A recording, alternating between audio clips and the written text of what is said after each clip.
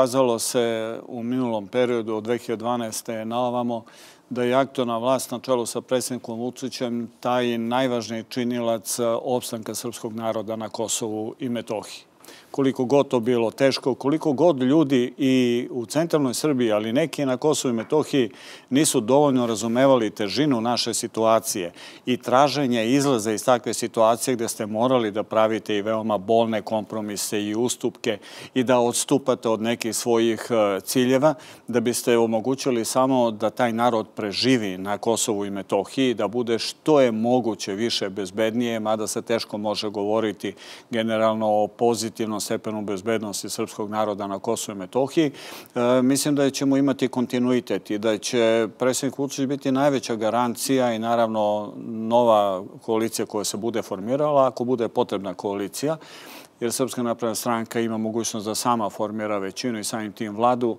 Republike Srbije, da će se ta politika nastaviti, da će ona biti prvenstveno usmerena na očuvanje znači, vitalnih državnih nacionalnih interesa i na opstanak srpskog naroda na Kosovu i Metohiji. Tako da tu nema diskontinuiteta, ali ćemo imati mnogo problema o čemu ćemo verovatno da razgovaram. Samo bih hteo jednu rečenicu da vam kaže vezano za izbor. Ja sam skoro 40 godina prisutan na toj javnoj sceni, ajde da kažem i političkoj.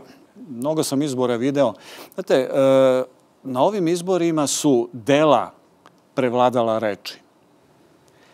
Neki su išli u kampanju samo rečima, bili su neki blagogoljivi, poput koalicije doktora Nestorovića, tako, ne znam šta su obećali građanima ako su nešto obećali, sem one priče koja prija u ušima, ali dobro. Neki su bili brutalno agresivni što se tiče političke retorike, a Srpska napredna stranka i predsjednik Vučić su rekli ljudi pogledajte dela. Šta smo uradili, šta hoćemo da uradimo. I građani su rekli pogledali smo šta ste uradili i hoćemo da se nastavi. Znate zašto vam to kažem?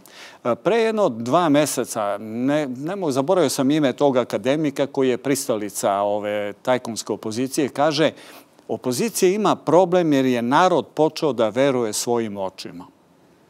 Zamislite tu skandaloznu izjavu. Da, narod je počeo da veruje tome što je predsjednik Vučić otvorio stotine fabrika, 500.000 novih radnih mesta, što se vozimo automobilima po asfaltu, ne po nekim kaljugama, što imamo najmodernije bolnice, što imamo reformu i školstva i svega drugog što ide u pozitivnom smeru. I to je, čini mi se, pobeda, pobeda dela na ovim izborima i zato mislim da su ovi izbori izuzetno značajni, jer sada su konačno građane rekli da, hoćemo da idemo isključivo napred.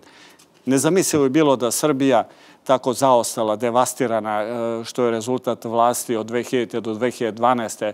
Pre toga, naravno, mnogo toga nam se izdešavalo, da ona tri godine za redom bude vodeća ekonomska sila što se tiče e, ekonomskog rasta u Evropi. Da ste mogli to da zamislite? Evropska ekonomska supersila, da Srbija bude dve ili tri godine.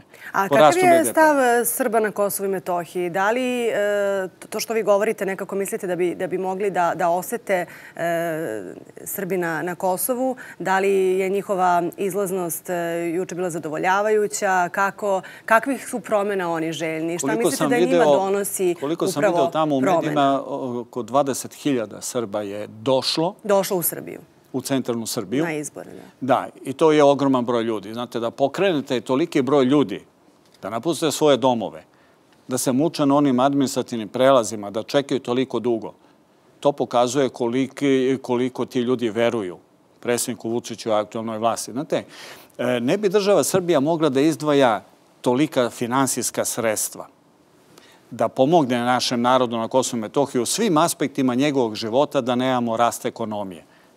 Zato vam govorimo o značaju rasta ekonomije, da nemamo toliko stranih investicija, da nemamo toliko novih otvorenih radnih mesta da može da se puni budžet. Samo ekonomski jača, politički stabilna Srbija može da bude od pomoći srpskom narodu dole. Ako je Srbija politički nestabilna, ako je neko stalno destabilizuje, ako nema ekonomski razvoj, pa kako ćete iz prazne kase da date tom eh, narodu na Kosovo i Metohiji? Pa nemate šta da im date ali onda nemate ni e, mogućnost da na međunarodnom planu budete subjekat, već ste objekat. I to je glavni problem bio prethodne vlasti, što je ona na međunarodnom planu bila do 2012. objekat, kome je samo diktirano šta treba da uradi, jer nisu imali ekonomsku snagu, jer nisu imali jaku političku stabilnost, zato što su znali da vladaju silom da ne vladaju delima nego samo praznim rečima i pljačkom, jer je Srbija bila opljačkana.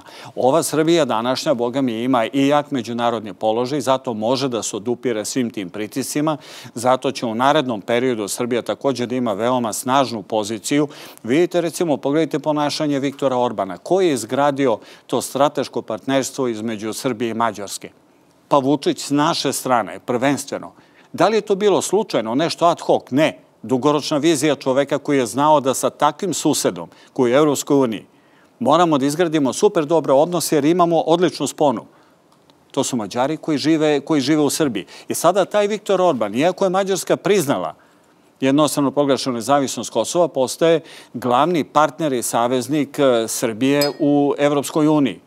To su dugoročne politike, to je nešto što donosi korist. Vidite, u onim neredima u Zvečanu i sukobima, Povređeni su mađarski vojnici. Mislim da je jedan vojnik koji je amputirana noga ili nešto. Veoma teške povrede.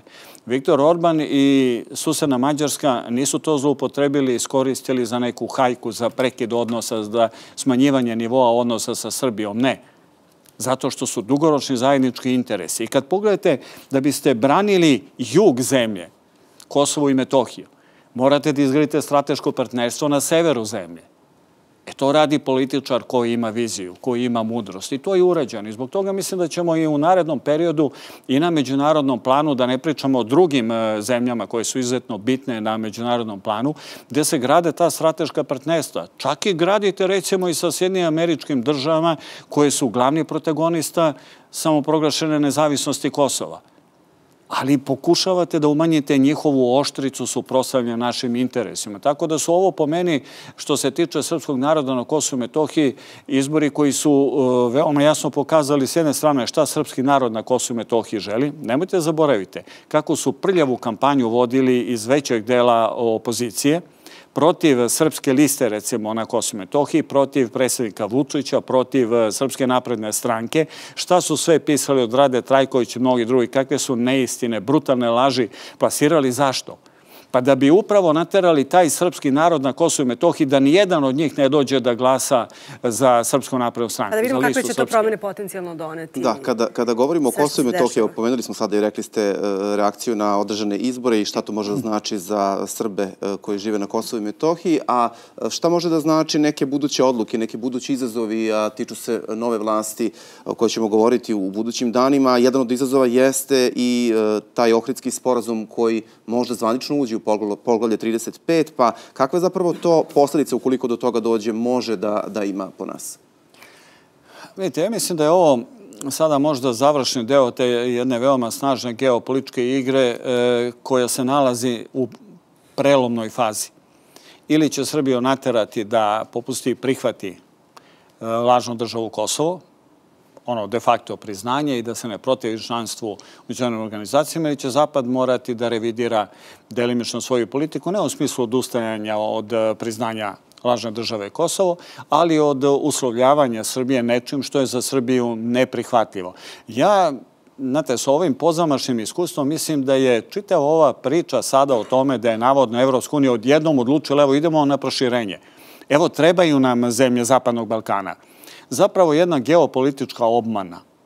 Njima je bitno da spreče jačanje uticaja Rusije i Kine u ovom periodu ne samo na Balkanu, nego i u Ukrajini, u Moldaviji, u Gruziji, zato što te zemlje žele da izvuku iz neka, nekako iz eventualne ruske orbite ili iz eventualno kineskog uticaja i da su osmislili čitavu tu priču, mada uopšte nemamo jasne naznake ni Francuza, ni neki drugi, da oni zaista žele i slažu se sa proširenjem.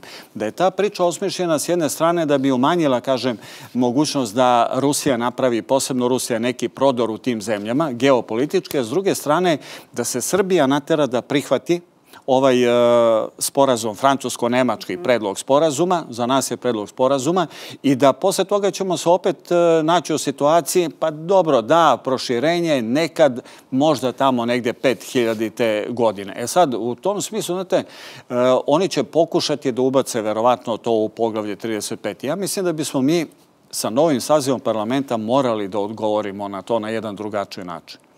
Mislim da bi pred parlamentom moralo da se e, nađe jedan dokument, predlog nekog novog dokumenta u kojoj formi to treba videti, kojim bi se u potpunosti od strane Narodne skupštine odbacila bilo kakva mogućnost prihvatanja u potpunosti tog sporazuma.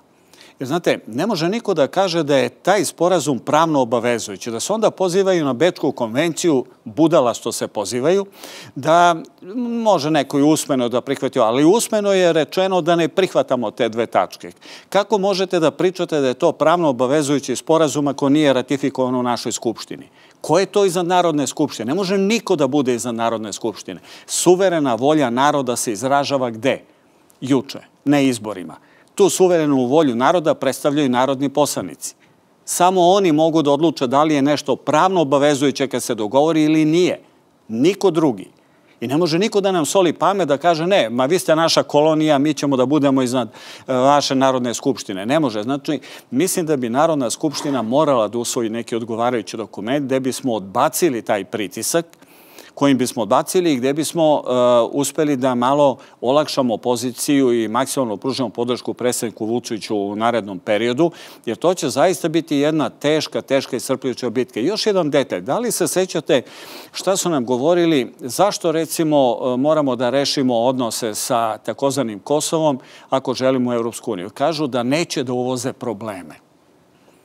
Neće da uvoze probleme. Sad ja pitam, A čujete, kako ćete uvesti problem Ukrajine sa Krimom i sa Donbasom? Kako ćete uvesti problem Moldavije sa Pridnjesrovljem?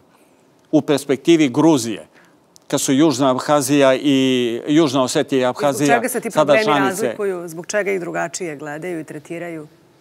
Pa zbog čega? Zato što su im interesi takvi. Kad god im odgovara jedan princip, oni se pozivaju na njega, kad im ne odgovara, oni ga odbacuju. Dakle, to nije dosadna politika, to je politika sile. E, Znate, Zapad uvek ide sa politikom sile. Ja sam moćan, ja sam jak, od mene ti zavisi ovo, od mene ti zavisi ono, moraš da prihvatiš. Ovog puta ne možemo da prihvatimo. Ako bismo prihvatili to, ovo što predsjednik Vučić kaže, Evropska unija bi pokazala da nas ne želi. Da, ali ne samo nas. Da li je moguće da integrišete region, a da najznačajnija zemlja u tom regionu ne bude integrisana? To, je jednostavno nemoguća situacija. A drugo, nije to samo pitanje e, da li nas Evropska unija želi, nego je pitanje da li mi sami sebi možemo da nanesemo veću štetu od toga što bi bilo priznanje Kosova i Metohije. Ja mislim da ne možemo. I da zato moramo svim silama da sprečimo taj pokušaj da nas ucenjuju. Ovo je po meni klasična politička ucena. Hoćete, hoćete u Evropsku uniju, morate da se odreknete dela teritorije. E ja sad pitam, koja se zemlja odrekla dela teritorije da bi postala članica cenu, evo, pošto moramo da privodimo razgovor kraju, rekli ste nekako da će o tome odlučivati parlament. Ne, re, vlast, odnosno, rekao da sam da je to moj stav, da bi trebalo da Narodna skupština, da se hitno, kad se formira novi saziv, znači da to treba da bude da jedno od prvih tema. Da se poslanici koji ime naroda treba da donesu odluku. Da, da se u dogovoru, naravno, sa predsjednikom Republike, sa vladom Republike Srbije, se pripremi dokument, da li u formi deklaracije ili rezolu, sve jedno, da se vidi gde će se odbiti ovaj pokušaj i olakšati pozicija naših pregovarača, predsjednika Vučića, direktora kancelarije. A je to onda, ako bude odgovor, verovatno će biti negativan, ili to onda znači, odnosno da ne pristamo na te ucene uslove Evropske unije, ili to onda znači još teži put Srbije ka članstvu Evropske unije ili ne? Pa ne, to znači da onda e, Evropska unija mora da odluči šta želi sa, generalno sa Zapadnim Balkanom. Ali odgovor... E, dakle, Ma, morat će da nađe odgovor. Ostaje Znate, isti. Ne možete da idete protiv volje... Čak je to jedini uslov za ulazak u Evropu. Ne možete, ne možete da idete, prvo što je bitno, protiv volje Skupštine, parlamenta. Bez obzira koji je parlament u pitanju u kojoj zemlji. Ako parlament kaže ovo ne može, onda ne može.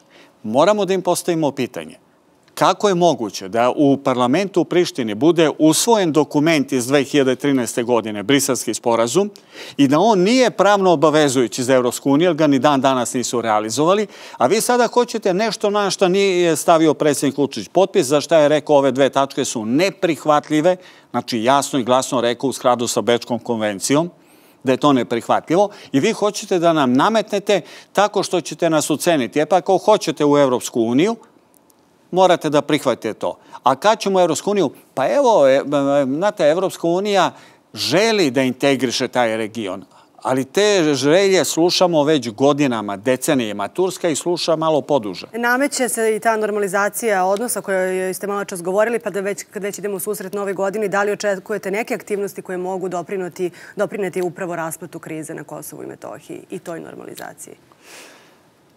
Pa nisam siguran da idemo ka raspletu mislim da idemo ka daljem komplikovanju. Znate, sada se prebacuje potpuno pritisak na Beograd, naročito s ovom pričom o pogledu 35.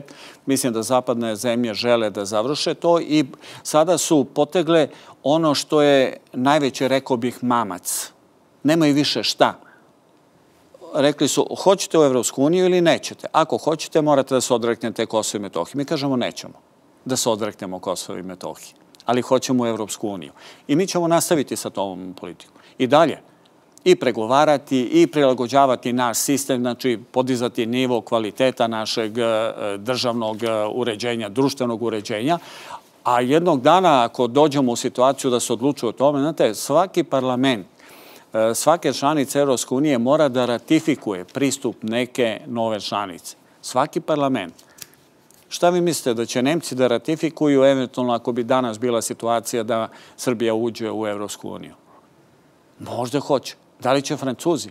Da li će ovi gore u Baltičkim republikama? Da li će Poljaci i to? Da li će Hrvati? Pa nisam siguran.